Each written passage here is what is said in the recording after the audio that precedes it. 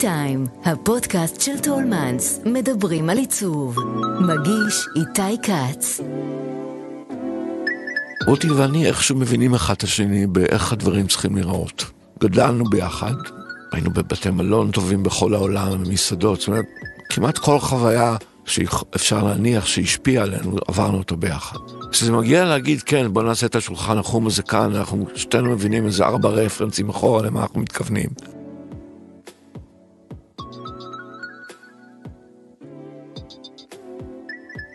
שלום, אני איתי כץ, ואתם על T-Time, הפודקאסט של טולמן שבו אנחנו פוגשים אדריכלים, מעצבים ויוצרים לשיחה מרתקת על עיצוב, אדריכלות, סגנון חיים ותרבות ישראלית.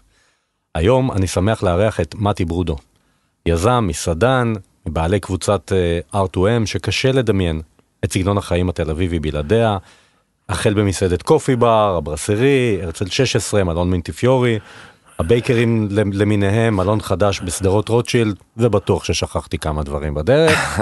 תזכיר לי מתי מה שכחתי? הרבה כישלונות יש בדרך שלא זוכרים. באמת? כמובן, גם בתחום, תחום היין למשל. היינו בין היבואנים הראשונים של יין לארץ. מתי זה היה? mid nineties. אתה רואה? אז הנה, אומרים על הישראלים שהם ביקורתיים וזוכרים לך רק את ההצלחות. כן, אבל אני לא רואה את זה ככישלון. אנחנו נכנסנו, היינו עסוקים בלהכניס תרבות יין לארץ. זה היה לא, לא כאידיאולוגיה, אפשר היה בלי, אתה יודע, גם מודל הרווח בנוי מזה. זה... אבל אני חושב, אה, מה זה, 30 שנה בעצם משהו כזה כמעט, אחורה, כשאתם, כן, כשאתם בעצם חוזרים מניו יורק, כן. אה, רותי ואתה חוזרים, אה, ואיזשהו חלום לפתוח מסעדה, אתה בכלל באת משוק ההון אם אני לא, לא טועה, לא, נכון? עבדתי בוול סטריט אבל הייתי מהנדס תוכנה, הייתי ניהלתי פורטפוליו.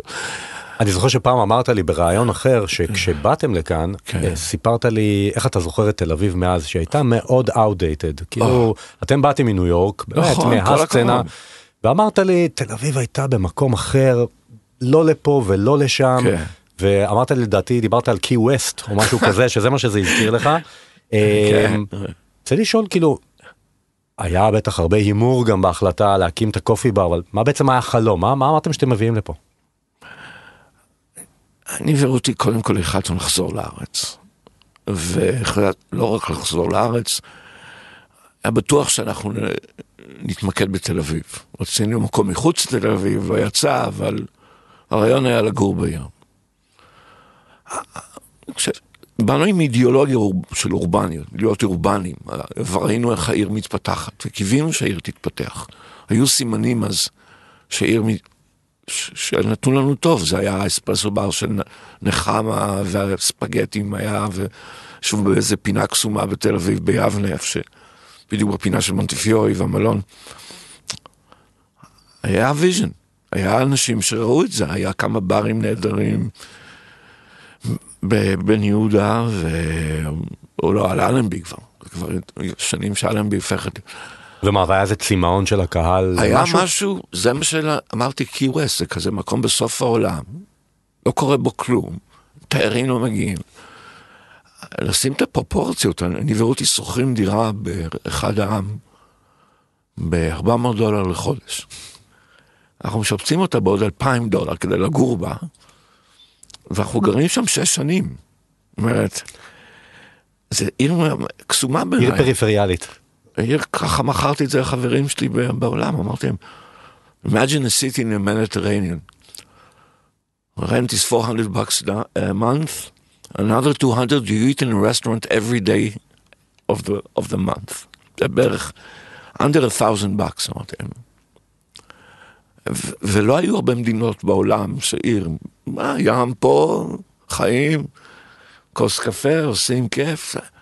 כולם לא עובדים, חיים בלילה, עמים זר. ו... ואיפה אנשים אכלו בעצם?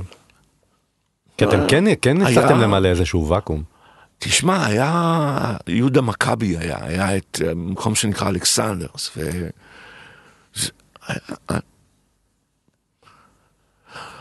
בעיניי תל אביב הייתה מעניינת, ו... אבל אה, לא פתחנו את הקופי בר כקופי בר, הוא הפך להיות הקופי בר. הוא היה איזה רעיון של לפתוח מספר מקומות כאלה. באזורים מסחרים שהופכים, יהפכו להיות בתל אביב. מהמם. אבל הרצון של הקופי בר היה להיות משהו. למכור סטייקים, ולמכור יין, ולגדול. וככה מה הייתה חלוקת ה, נגיד העבודה ביניכם זאת אומרת אה, אה, אני רוצה לשאול אותך גם על הנושא של עיצוב Mm. או הנושא של אווירה או הנושא של סטייל אל מול הנושא של האוכל כן. מה ככה אתה חושב הסוד של המתכון שלכם. ב... אני ורותי לא התחלנו כמתיימרים להיות uh, שפים, זאת אומרת, לא, לא, לא היה מקום שלנו. המודל לחיקוי שלנו היה, לפחות בעיניי, אולי רותי רואה את העולם אחרת, אבל אני לא חושב. היו בשנות, הת... ה- ב- בסוף שנות ה-80, בניו יורק, דברים טכניים קרו, פתחו את הוויזות לאירופאים שיכולים לבוא לארה"ב בלי, בלי אישורים מה... לא יודע, מהקבוצה, סתם ככה. ולתוך המשחק הזה באים, יש מיתון גם באיטליה וגם בצרפת, יש מיתון באירופה שהוא מביא את האנשים לפתוח בחלק המזרחי של העיר, הם פותחים טרטוריות איטלקיות כאלה, כמו זה, וברסריז כאלה קטנים, וגם בניו יורק יש מיתון, ואין אורות במסעדות. יש נרות, כאילו, איזה מין רומנטיקה אפלולית, כי הדאונטאון של ניו יורק חווה מיתון תרבותי בגלל שמתים כל האלה מאיידס. זה, זה ה... זה בתקופה שגרתם שם בעצם. כן, ו- ולקראת, אז, אז המקומות הם חשוכים, אפלים, קצת, כי, כי זה, זה האופי. והצרפתים האלה, והאיטלקים באים ופותחים את המקומות האלה הקטנים, כמו שמכירים מאיטליה, זה wine bars, ו, ומתפתחת איזו תרבות, תת-תרבות של זה. יש את המסעדות היקרות שמתיימרים להיות fancy, אה, אבל בד, ב downtown scene, והאוכל הוא מה? הוא אוכל שאני ורות יכולים להכין בעצמנו, יכולים להבין אותו, או מבינים אותו, זה אוכל ביתי כלשהו, או תבשילי גדרה למיניהם, it's all about, זה אטמוספירה כזאת, אתה מייצר אווירת, שמייצרת חוויה שהיא לא מקצוענית, היא, חובבנית במהותה, מהמם. והחובבנות היא חלק מהמשחק, בלי שנשים לב. אנשים אוהבים את החובבנות. כי זה מעניין שאתה אומר את זה כי היום במבחן הזמן אם אני מסתכל על uh, הקבוצה שהקמתם שהיא באמת uh, קבוצה עם המון השפעה נכון. על, uh, על uh, סגנון החיים בתל אביב כבר הרבה שנים כן. לא הייתי מקשר את זה עם המילה חובבנות. זה המילה חובבנות ממקום חיובי. כל דבר, אני חושב שמי שהסבירה לי את זה, זה המשפטים של שרית שפירא. לא איתנו היום, אבל האוצרת. אחת ההוצאות החשובות, והיא הסבירה לי את התהליך של היצירה כהרגע שאתה אוהב משהו, זה הרגע החובבנות, הוא רגע שאתה חווה אהבה לחוויה הזאת, במה שאתה יוצר. זה הרגע, אני אומר, שאתה צריך לזכור, כי הוא ייעלם. אחר כך יגיע הרגע של הציניות, שאתה תבחן את זה מחדש. ואם תישאר במשחק, אז בסוף אתה תהיה האומן.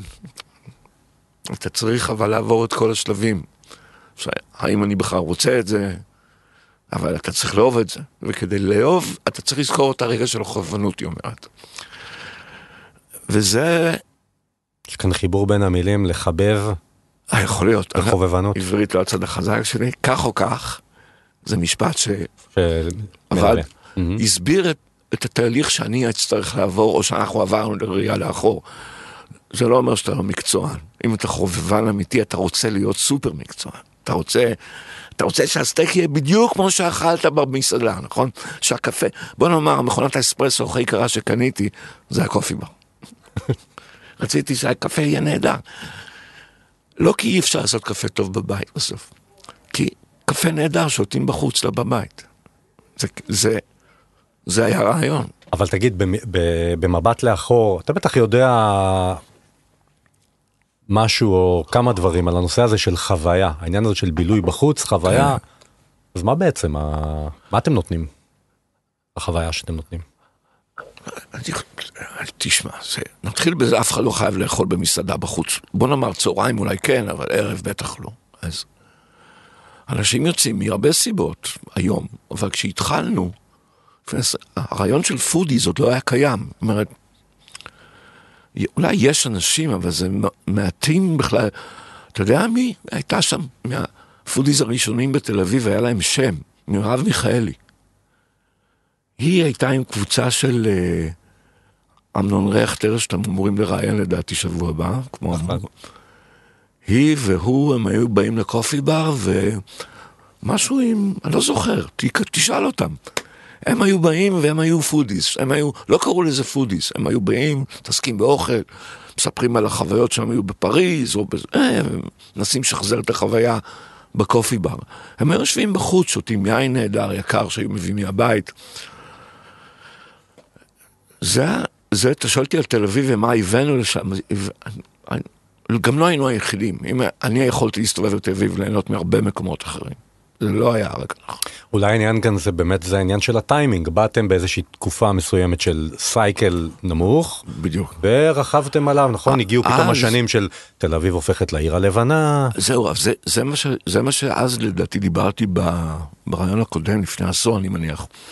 העיר הייתה תקועה 20 שנה בגלל רשויות, כל הנושא הזה של העיר הלבנה. כל הזכויות, בנייה ומקנה. אז העיר הייתה תקועה, אני יודע שהיא הייתה תקועה 20 שנה. 20 שנה שעיר לא, לא קורה לה כלום. Mm-hmm. אז הסייקל היה למטה, אז גם תרבותית הסייקל היה למטה, הכל היה.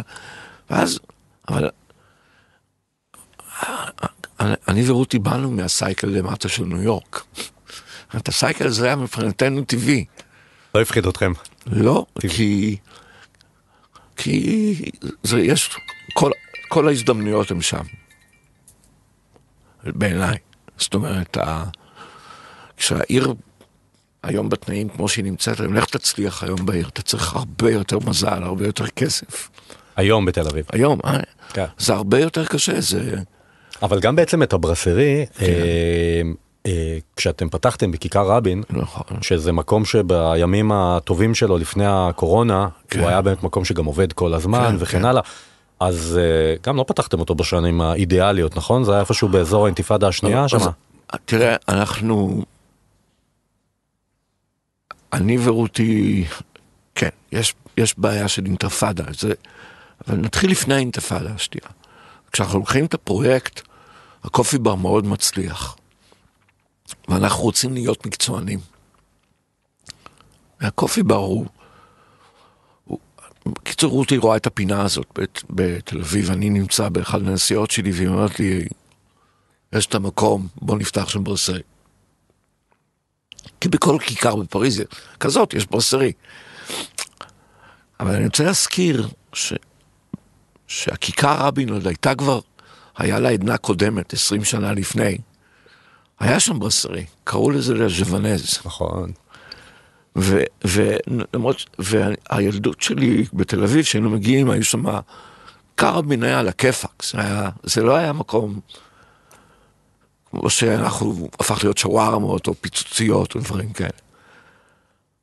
אז נתחיל בזה שידענו שברסרי יכול לעבוד, כל הצ'אצ'קיות של תל אביב, הזקנות היו בסוף, ומבחינה עיצובית, המקום היה נראה כמו דיינר, רק לא קראנו לזה ככה. אבל יש הדיינר, בוטס והכל. והיא מכרה, האישה הזאת שעשתה את ג'וונז, בסוף הביאה את הבגט לארץ. את ה... היא הייתה בעלים של ה... איזה רשת של בגטים בארץ, אני לא זוכר, בונג'ור. היא הייתה הגברת הזאת, הבעלים. אשת חזון. כן, והכל נסגר, אנחנו, זה לא קיים שאנחנו רואים את זה. היה בנק שם, במקום הבשרי, ורותי רואה את הפינה, אנחנו מבינים את היכולת.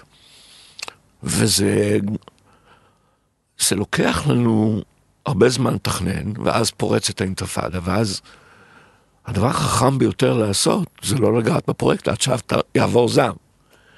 אנחנו כבר מהקופי בר מרגישים לאט לאט שהמיתון עובר. אנחנו מתחילים לקבל קליינטים בחזרה, mm-hmm.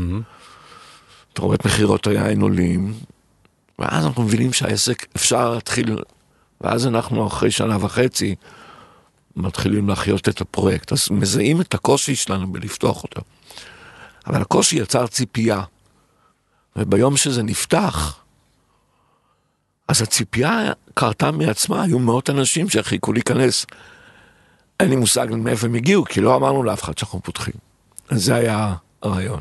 אז ככה זה תמיד בתל אביב, נכון? כל מקום. אני לא- תשמע, אני לא. אתה הסתובבת בכל מיני מקומות בעולם, יש... אה, זה בכל עיר העצמה הזה של אנשים אה, לצאת, לבלות, להכיר דברים חדשים? שיש כאן משהו ייחודי לנו. לא, לא, אני לא, לא הייתי נותן לנו שום פרס בכיוון. אה, זאת אומרת, זה היה עובד לכם אותו דבר בכל עיר אחרת. אה, אני לא יודע, זה לא אמרתי. תשמע, אני חושב שאני ורותי מכירים את העם שלנו, את המקום שאנחנו חיים בו.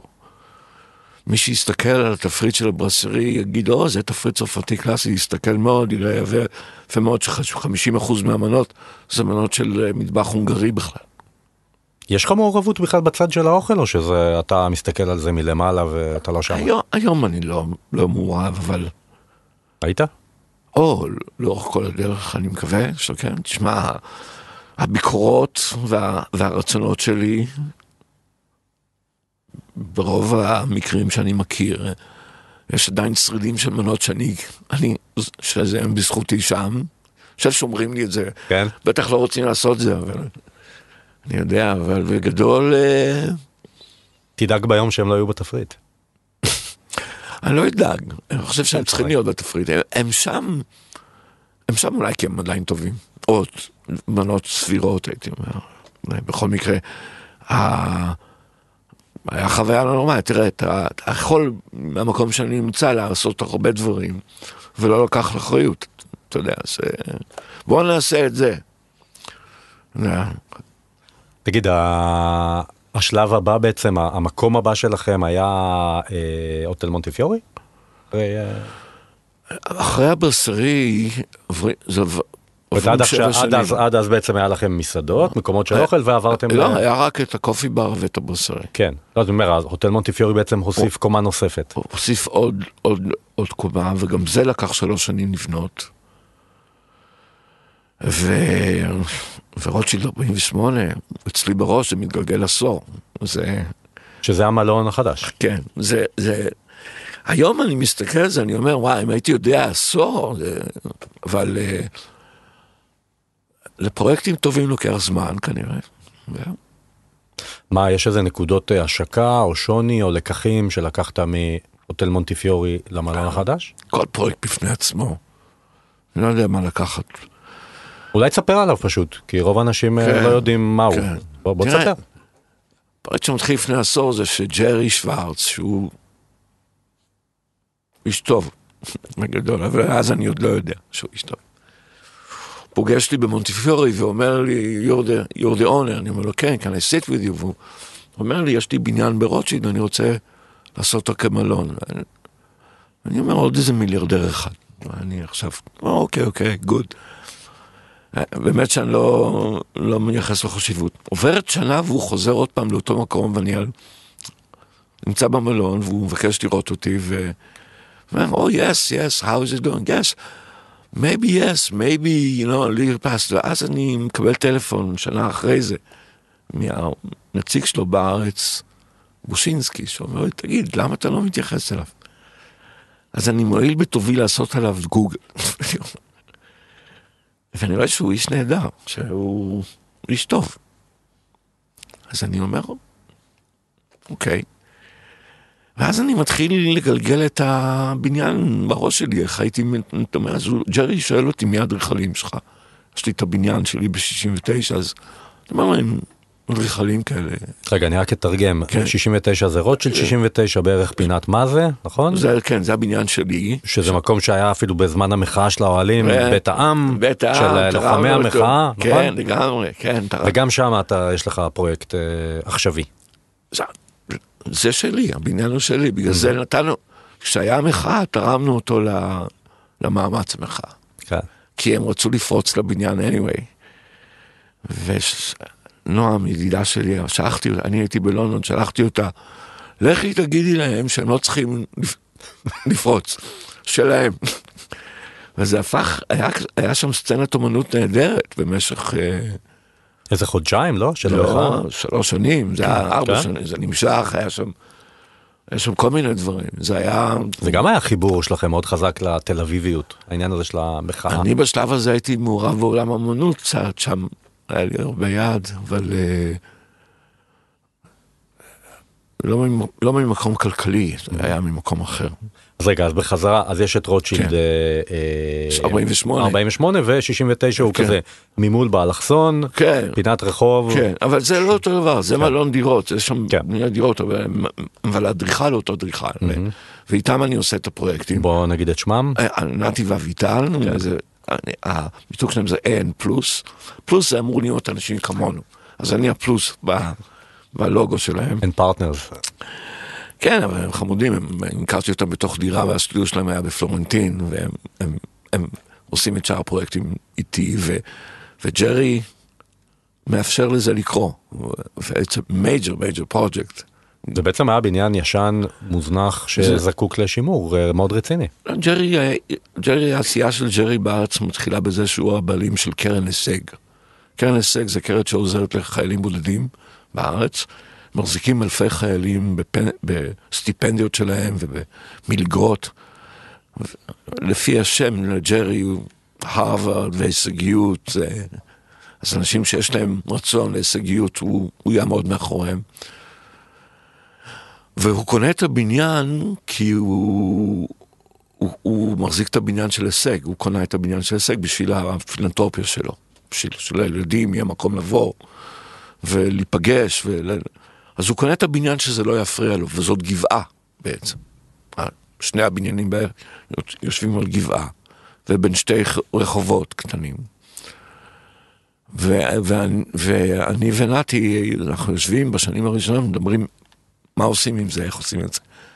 והבניין והתוכניות עוברות, לוקח להם זמן להתגבש, וזה משתנה.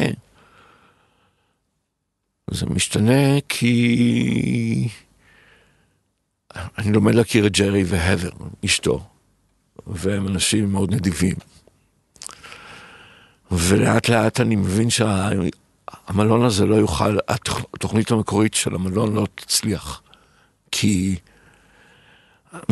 המספרים השתנו, והם מספיק חדרים, והעולם השתנה וזה, והם מזמינים אותי להיות על יאכטה שבוע, במדיטרנין. ואני חוזר מהס, מהספינה הזאת עם חוויה נהדרת של איך מתנהל מקום עם 12 חדרים, 10 חדרים היה על היאכטה. ואני אומר, זה, this is what we have to do. הבניין הזה הוא יאכטה בתל אביב גם. זה מתאים לרעיונות של באו-האוס והספינות, ו... ורק צריך לשכנע את ג'רי והדר שאסור שיהיה 20 חדרים, או שזה יהיה רק... ואנחנו... זה מה שזה? כן, 11 חדרים, ואנחנו ניקח על זה מספיק כסף. לפני שבע שנים, אני לשכנע בן אדם לשלם אלף דולר ללילה על חדר, זה נראה לי bit crazy. אבל ג'רי אומר, הם, הם קונים, מסכימים איתי, אני יודע, אני לא יודע למה, אני צריך לשאול אותם, אבל זה, היום בראייה לאחור, זה, זה יותר קל להבין למה אפשר לקחת אלף דולר על חדר. כי מה, מה ה-added value פה? אה, אין, העולם של בתי מלון השתנה, הכל התייקר. האם יש לזה added value למלון? זה קשה מאוד, אני תראה, זה, כשאתה בוחן פרויקט כזה, ואתה אומר, כמה הוא עלה למטר, כמה הוא עלה לחדר, וואו, אתה אומר, איך מחזירים את זה? אז לא, לא אני ולא רותי ולא ג'רי והבר, נראה לי עשו את זה בגלל כסף. אני ורותי לא פה לפילנטרופיה. גם ג'רי הבר בפרויקט הזה הם לא. יש לזה התכנות כלכלית, זה לא נמצא לא באוויר. מה, דרך המסעדה שתהיה שם? או לא, לא, לא, לא. בחיים לא הייתי אומר את זה. זה total package. ואיך מפרקים כזה דבר? זה לא 100 חדר, זה לא 150 חדר, זה, אז המשחק הוא אחר. זה, זה חייב להיות על אקסקלוסיביטי מסוים. האם החדרים, אתה יודע, מה, בגלל, החדר בשלושת אלפים דולר צריך להיות ברזים מזהב? לא נראה לי. זה לא המטרה, נכון? זה... אני חושב שאיין שרגר עשה את זה כבר לפני 30 שנה. אז מה האקסקלוסיביות? שבעצם יהיו שם אנשים שיכולים להיות שם בעוד שאחרים לא יכולים להיות שם? זה גם סוג של אקסקלוסיביות. יש בעולם רמה מסוימת של מחירים בסגנון הזה. זה לא החדרים, זה השירות וכל המסביב שלו.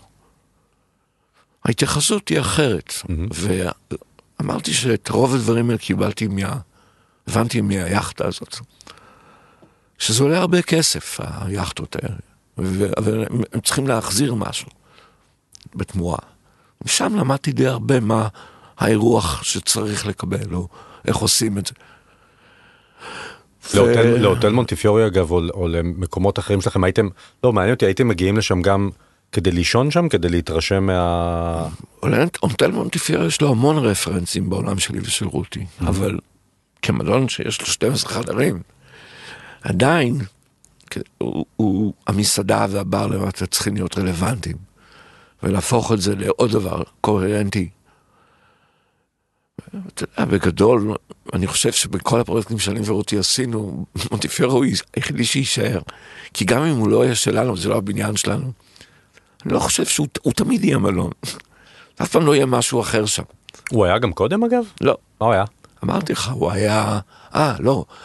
היה זה שהייתה מסעדה בקומה הראשונה מודרנית כזאת, עם קירות בטון, ולמעלה היה גלריה לאומנות, ולפני שזה שיפצו את הבניין, זה היה בית מתפרה של ג'ינסים. זה מה שאני זוכר. תגיד, המסעדה שתהיה במלון החדש? יש שתיים. יש ברסרי בגובה הרחוב, לא גדולה, ויש מסעדה למעלה שמשרתת, נו, את ארוחות בבוקר של מלון, אבל היא גם פתוחה לקהל עדיין. ויש גם את כל הבחוץ, יש גינה מסביב למלון, שמי שעיצב את הגינה הזאת זה פיט אודולף, שהוא עיצב את ה High Line בניו יורק. והוא היה בארץ כמה פעמים, זאת אומרת, יש שם המון עשייה ב... וזה הכל, הדר וג'רי, בסוף הם הפכו את הפרויקט הזה לפרויקט pet uh, פרויקט שלהם. והם שמאוד אוהבים אותו והם רוצים שהוא יצליח. תגיד, אתה מדבר עכשיו על ברסרי שאתם פותחים וכן הלאה, ככה 30 שנה עברו מאז שהתחלתם כן. את הקופי בר, כן. אתה מסתכל על אה, הרגלי היציאה למסעדות, לברים ודברים כאלה. השתנה משהו שזה אנחנו באותו דבר כאילו ברסרי תמיד יאהבו קופי בר תמיד יאהבו דברים שצריך להתחדש בהם או שזה הרעיון מאחורי הברסרי הוא, הוא שימור התרבות. באמת. לא יודע אם זה המקום להיכנס למה זה ברסרי, אבל באמריקה קוראים לזה דיינר, גדול, זה אותו רעיון. Mm-hmm. זה short order cooking, זה נקרא, זה צורת בישול מסוימת. היא פתוחה הרבה שעות, 24 שעות, זה, זה... אז אתה שואל אותי אם תמיד יש ברסרי. yes, obviously. אם אתה רוצה להתייחס לרעיון של ברסרי ולהשאיר האיקונות שלו, את הבר, או יש, או האם אתה רוצה לשמר את הרעיון של התפריט, ואז אתה חוזר חזרה למה זה הברסריז המקורי ברסרילי בפריז ולקופול, ואם אתה רוצה לשמר את התרבות הזאת, היא מעניינת אותך, אז אתה נהנה מזה, אם אתה יודע לחקות את זה נכון. תגיד, ובצד של העיצוב, mm. אתה מעורב? זה צד שמעניין אותך בכלל? אתה יודע, אני חושב שאני גם מדבר, אני לא אוהב לדבר על עיצוב, אני לא, לא רואה את עצמי כמעצב. כי הדברים הם, it's a shtick, תראה, אני אוציא את הקופי בצד רגע. אבל הברסרי זה, זה אדם ש... זה מישהו שיודע לעצב, או מבין בזה, או פותח ספר, רואה ארט דקו, אתה יכול להצביע על השנה ועל הצבע ומאיפה כל דבר הזה מגיע. כולל הזינק בר, וזה נקרא להבין את התרבות של ברסרי. אנחנו מחקים תרבות כלשהי. אם אנחנו, אם אתה מחכה דבר לדבר כמו paint by number זה לא יעבוד. אתה צריך להביא מעצמך, גם לעיצוב הזה אתה צריך לייצר. הכל מיוצר בארץ. כי, אתה יודע, המנורות, הבאנו מנורה שהיינו צריכים, אחת שקנינו בכלי גונקור בפריז, ועושים לנו אותה בארץ. כל, כל הקראפטסמנים הם ישראלים, שלוקחים רעיונות שאנחנו מביאים משם, הם עושים לנו אותם.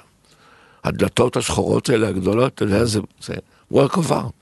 זה שני אנשים שזה המומחיות שלהם לעשות כאלה דלתות. אבל מה ככה הפורטה שלך בכל ה... כשאתה מסתכל על כל השנים האלה של העשייה המשותפת שלך ושל אה, רותי, יש איזושהי, אה, יש איזה צד בביזנס שאתה יותר אה, בפוקוס ובצד שהיא יותר מתמחה בו? אני חושב ש... כש- כאילו יותר מיוחס לה נגיד הצד של האוכל ושלך, של ככה איזה כן. מין איי-לבל. כן, כש- כך, הקופי בר היה הדבר הכי אישי שעשינו, אבל גם אין שם עיצוב by definition, זה, זה, זה איזושהי רהיטים שמביאים מהשוק בהתחלה, ואחר כך, לא יודע, זה גודל, זה כל הזמן משתנה. אם תעשה תמונה כל יום בקופי בר, תראה שזה השתנה במשך השנים. לא... רותי, רותי ואני איכשהו מבינים אחד את השני באיך הדברים צריכים להיראות. גדלנו ביחד, היינו בבתי מלון טובים בכל העולם, במסעדות, זאת אומרת, כמעט כל חוויה שאפשר להניח שהשפיעה עלינו, עברנו אותה ביחד. כשזה מגיע להגיד, כן, בוא נעשה את השולחן החום הזה כאן, אנחנו שתינו מבינים איזה ארבע רפרנסים אחורה למה אנחנו מתכוונים. וזה עזר, אני מניח. וגם היום זה עובד ככה? אני לא... אני כבר שני... זאת אומרת, הפרויקט האחרון שעשינו זה 48, עד אז היה רק אה, דליז ובייקריז וזה, לא, מוטי עשתה כמעט הכל לבד, אני... רק ביהודה לוי הייתי מעורב. זה באמת... אה, אבל תסתכלו טוב, יש שם אלמנטים של, אה, של הרצל 16, או לא הרצל, של רותי 12. יש לו הברזל ועבודות ברזל. זה היה אחלה פרויקט, רוטשילד 12 בעיניי. כן, שהפך, אה, שעבר להרצל 16. שעבר. לארץ שיש, אבל הוא היה, הוא הפרויקט, אני סגרתי אותו, לא רציתי לקרוא לזה, זה, זה פרויקט שהתחלתי וסגרתי וידעתי שאני סוגר ואני, הוא היה, לא עסק בקולינריה, עסק בתרבות מוזיקה כן. וברים.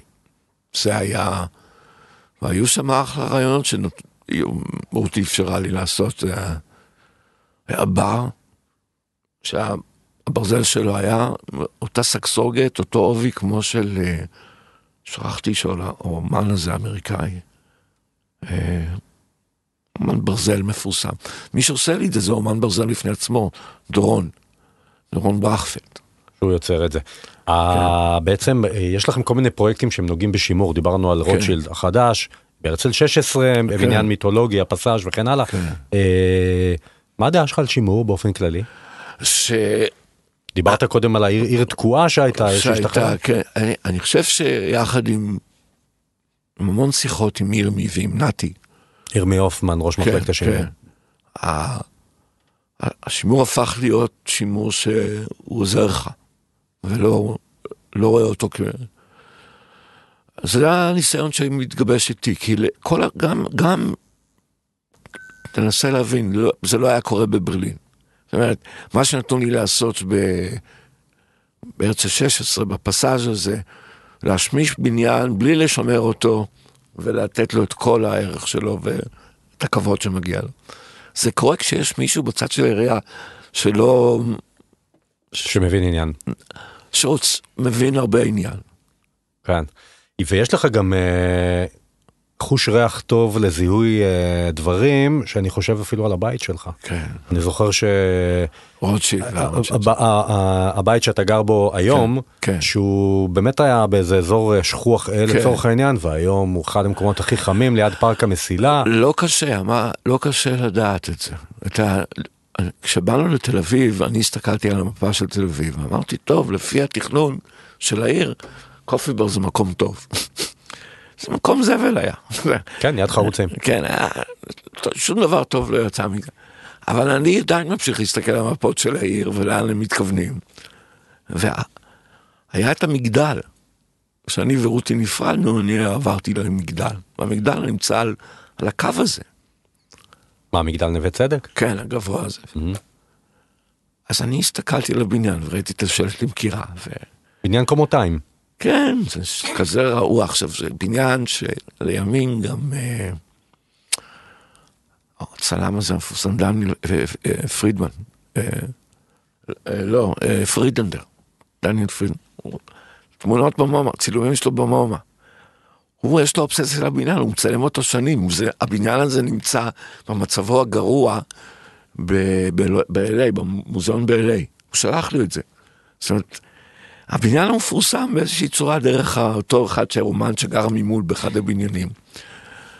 אני קונה אותו מתוך uh, הבנה שיש, שאני יודע מה, איך לשפץ אותו בזול יחסית, ושאני אשמח לגור שם. וידעת כבר אז שתהיה הרכבת הקלה שת... ידעתי שיש רכבת, כן. כן. ואז אמרתי, מה כבר יכול להיות? אמרתי. הימרתי על, על בני אדם, על, על מציאות. איזה אזור בעיניך בתל אביב עכשיו הוא היד חרוצים והפארק המסילה של פעם? תשמע, לתל אביב נגמר, נגמרו השטחים. השטחים הבאים של תל אביב זה האזור של, שהם כנראה, אם אתה רואה לאן זה, זה, זה התחנה המרכזית החדשה וסביבותיה. יש שם, יש שם כנראה הרבה מאוד אחוזי בנייה. זה עתודות קרקע לדעתי בין האחרונות שנשארו, אם אני לא טועה, אני לא יודע מה עושים, אני באמת לא, לא מבין את כל העיר, אבל יפו כנראה מתנהגת אחרת, בת ים, אני לא יודע, אני... אני, אני ההתפשטות הזאת של תל אביב אה, דרומה היא מעניינת מאוד. אה, אין, לה, אין לה צפונה. כן. אתה רואה את עצמכם פותחים אה, מקומות גם מחוץ לתל אביב, או שאתם תל אביבים אונלי? אנחנו, אני ועד היום תסתכלו על הפרויקטים, צריך להפריד בין, בין הקופי בר, בין, ה, בין הדליז לבייקריז, עסק בפני עצמו. יש לו בית חרושת והוא דורש מומחיות ומקצועיות שאנחנו נותנים ליד, לדעתי אני ורותי, אבל זה, זה, זה, זה עסק מאוד גדול והוא שונה, ואז צמצמנו את המקומות, ה-16 קופי בר למעט מקומות. הנטייה שלנו לא לפתוח אותם, כי זה יושב בתוך, בתוך הבית מלון, אז כן, זה נראה נכון. אבל אני, התוכניות שלי לא מראות שאני פותח עוד מסעדה בתל אביב או עוד בר. אבל למה לא ברסרי בירושלים? או בחיפה? קודם כל בירושלים היו חבר'ה טובים, שכחתי את שמם, בסוף פתחו גם בניו יורק, שעשו, ראו את רותי ואותי בתור אה, זוג מעניין, ש... והם עשו את זה בירושלים, אני לא זוכר איך קראו למסעדה שלהם. לדעתי עדיין שם. הייתי שם. היה את כל החוויה שאפשר לצפות ממשהו ש... אני לא רואה סיבה, מה, בשביל מה אנחנו צריכים עוד אחד? כשאני חושב על, אה, על תל אביב של 30 אה, שנה אחורה עם כל זה, כן. אני, אני חושב על חיפה, כמקום שאפשר לעשות בו, אנשים כמוכם יכולים לעשות כן. בו פלאות. היה לי מספר ניסיונות עם פניות של ראש העיר, לראשת העיר אפילו, לעשות דברים ב, באזור של הנמל למטה. אני חושב שחיפה היה אחלה. למה זה לא צלח? תשמע, אני בן 64. אתה יודע, אני צריך לבחור, לבחור את הפרויקטים, אני, ואני מספיק פיקח היום כבר לדעת שפרויקט הוא עשר שנים. אני חייב לראות את ה... כדי שהוא יצליח.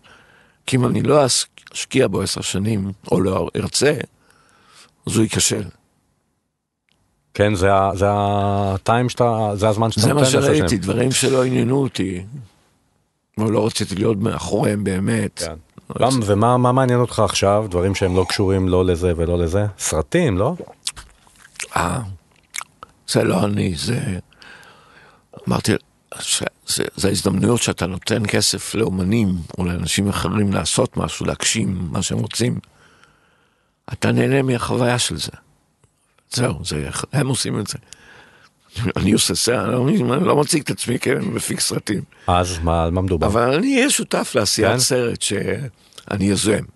גם אני אומר, מאחורי הסיפור, אבל לא אקח על זה שום קרדיט מעבר לזה. אני אעמוד על המבע, אתה יודע, אם נקבל פרס. מכובד. כן, אה, מאוד כיף. אני אומר לך, ללכת על השטיח האדום בברלין היה, היה נהדר. אז הנה, משהו לעשות אותו שוב. תגיד, לאן אתה חושב שתל אביב אה, הולכת? אני חושב, כשאני רואה את תל אביב, אתה... אני אומר, קודם כל אתה אומר, כשכולם מתרכזים על הפקקים, מה אתה מעדיף, לחיות בעיר שבונים אותה, או ש... או, ש... או שבנו אותה. ואני מעדיף לחיות בעיר שבונים אותה. לאן היא הולכת? איך לגובה, אני מניח. אתה חושב שהסייקל הזה של שגשוג ופיתוח ובום והכל, אתה רואה אותו ממשיך? יש לך עסקים שניזונים מזה. זה לגבי כל העולם, אני חושב ש... ש... אני חושב שישראל משגשגת. גם כל הנתונים הכלכליים מצביעים על זה.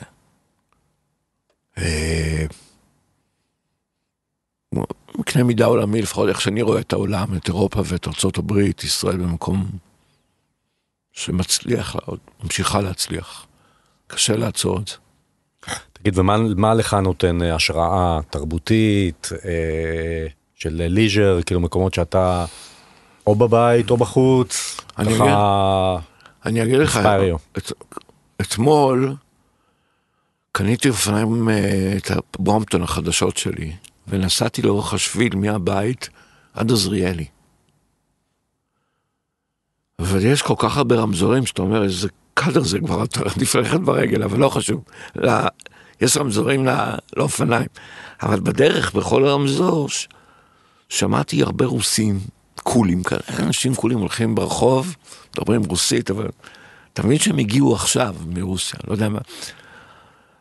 והמשכתי עוד זרים, והמשכתי והיו איטלקים, והמשכתי, ואמרתי, זה עושה לי טוב, זה... זה אומר שאני גר במקום טוב, לראות את כל הזרים האלה. אחרת זה היה קטסטרופה. תגיד, אה, תפתחו עוד אה, מקומות, או שהעניין הזה של רוטשילד אה, הנוכחי ממצה, ממצה מבחינתך? אני מניח ש... שיפתחו delis. או bakeries. אם תשאל אותי, תראה לי מקום ותגיד לי, תשמע, בוא נפתח כאן מסעדה, אתה תצטרך, לא יודע, לעבור אצלי איזה מחסום מאוד רציני כדי שאני אסכים לעשות את זה. אני, לא, אני אוהב מסעדות, אני יודע איך לעשות אותן. אני חושב שאני יכול לפתוח, לנסוע לניגריה, לעיר הכי קרובה לאבוג'ה, ואני אפתח מסעדה והיא תצליח. ככה אני מאמין.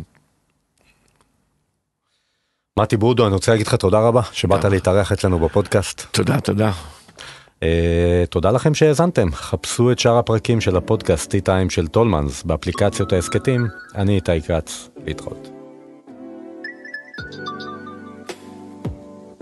האזנתם לטי טיים, כל מה שמרגש בעולם העיצוב.